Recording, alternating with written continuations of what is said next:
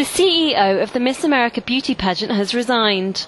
Sam Haskell had been suspended by the pageant's board of directors before his resignation was announced. The director had been caught up in an email scandal.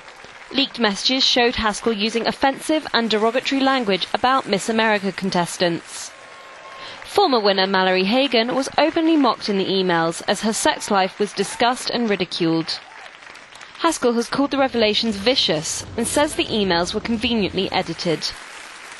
Also leaving is the chair of the board, Lynn Weidner.